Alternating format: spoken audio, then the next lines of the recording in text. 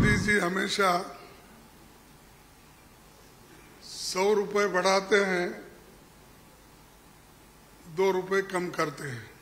India जीतना ज़रूरी है और इंडिया जीतने के लिए ही इस मंच पे सभी लोग बैठे हैं। हम डरेंगे नहीं, ये हमारा वायदा है और हम हमेशा लड़ते रहेंगे और जीतते रहेंगे। आज की ये जो बैठक हुई ये बहुत ही ठीक ढंग से सभी पार्टियों ने मिलके चलाया।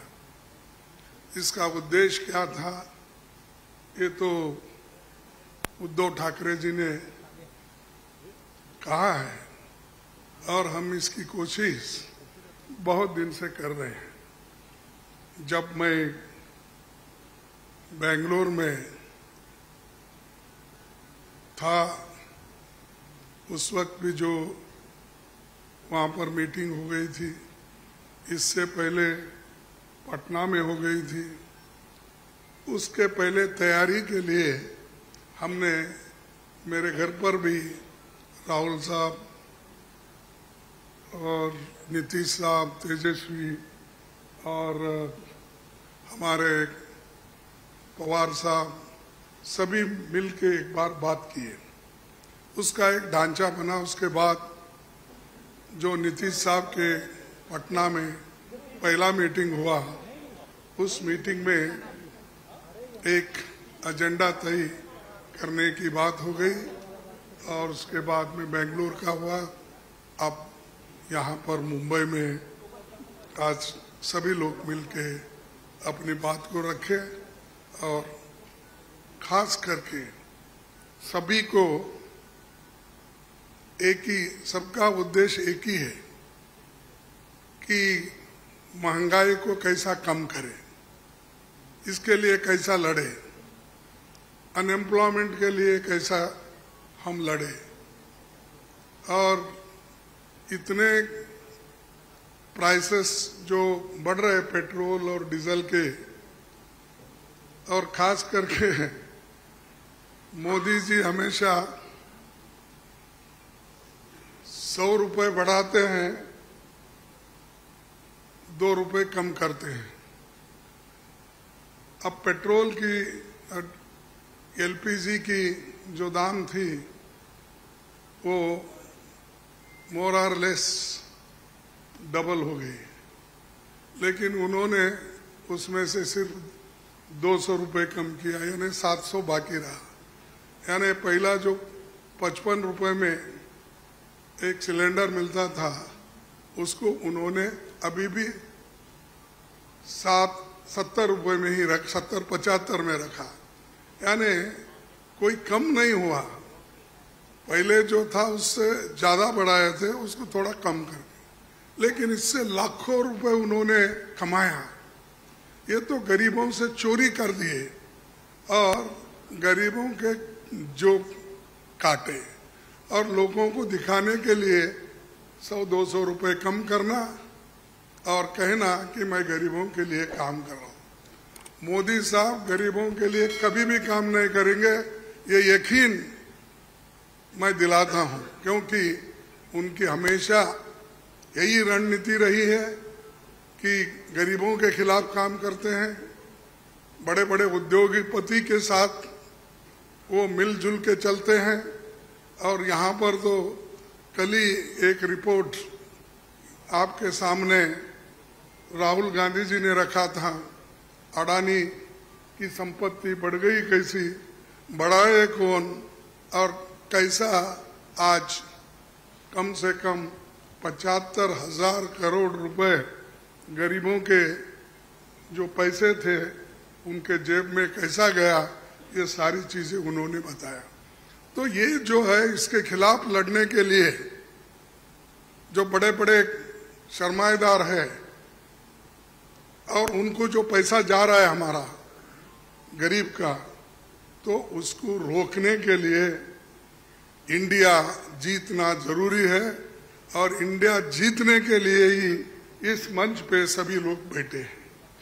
तो इसीलिए हम एक जो तय किए हैं, जो रेजोल्यूशन भी हम, आप देखे हैं, और उसी ढंग से उस रेजोल्यूशन भी काम करेंगे, हर जगह मीटिंग करेंगे, हर स्टेट कैपिटल में हम जाएँगे, और जो ये मुद्दे हैं इन्फ्लेशन का हो अनएम्प्लॉयमेंट का हो, हर चीज़ की जो बढ़त हो रही उसका हो, और ऑटोनोमस बॉडीज को सत्यानाश कर रहे हैं, और चाहे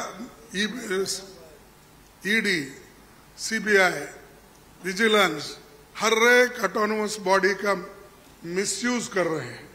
ऐसा कभी नहीं हुआ। मैं भी more or less Sharad Pawar ji साहब के बाद मेरा नंबर लगता है। मैं भी पचपन साल से पॉलिटिक्स में हूँ और बावन साल से एमएलए एमपी राज्यसभा का मेंबर हूँ।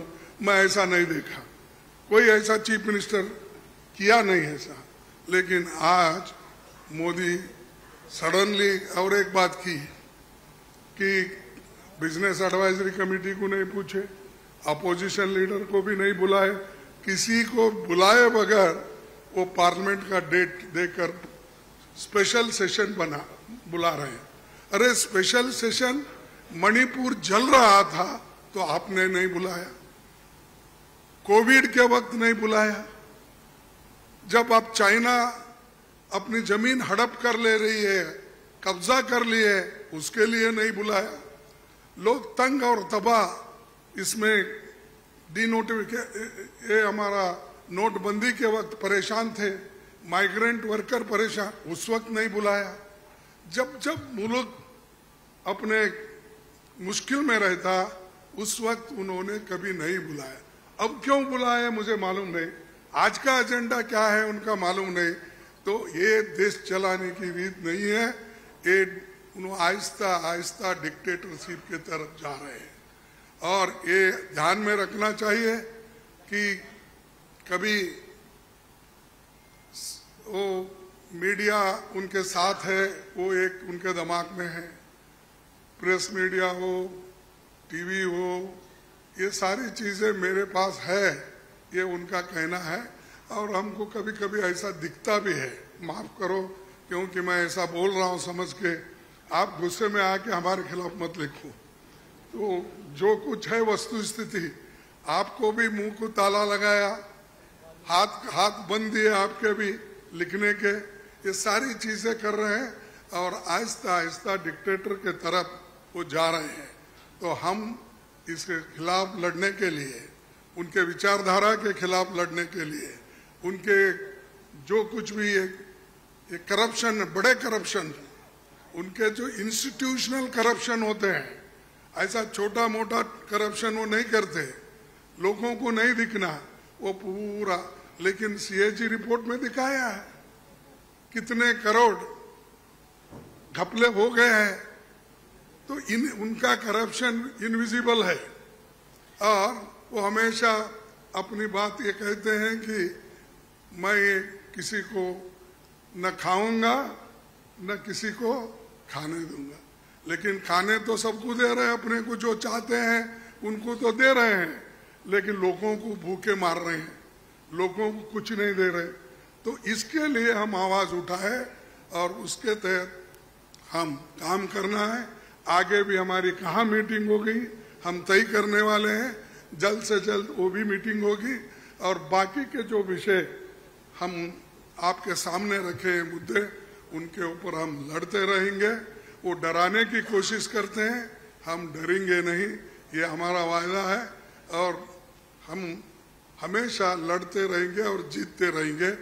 और आज मुंबई में जो हमारे महाराष्ट्र विकास आघाड़ी जो ये स्टेप लेकर हमको बुलाए हैं, उद्धव जी लीड लिए हैं, और बाकी कांग्रेस पार्टी और एनसीपी सभी ने मिलके ये जो एक यहाँ पर कार्यक्रम रखा और बहुत यशस्वी हुआ, इसलिए मैं उन महाराष्ट्र विकास आघाड़ी के सभी नेताओं को धन्यवाद देता हूँ।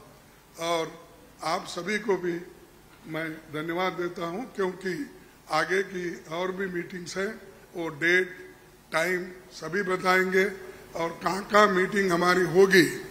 बहुत से पाँच छह जगह पब्लिक मीटिंग होगी, वो भी हम आपको बताएँगे और काम करते रहेंगे और मजबूती के साथ काम करते रहेंगे। इसको ढीला करने की कोशिश, मोदी जी कितना भी कोशिश करे, हम वो डरने वाले नहीं है। इसीलिए मैं इतना ही कहूँगा कि उन्होंने तो हमेशा मोदी जी झूठ बोलते ही रहते हैं, लेकिन लोग उनको सच समझते हैं। लेकिन अभी भी मराठी में कहावत है, खोटा बोला, पण रेटून बोला। तो ऐसा उनका है। इसीलिए सब झूठ बोलते जाते हैं, लोगों में भर्म डालते हैं तो वो सबको हमको एक्सपोज करना है, हम करते रहेंगे।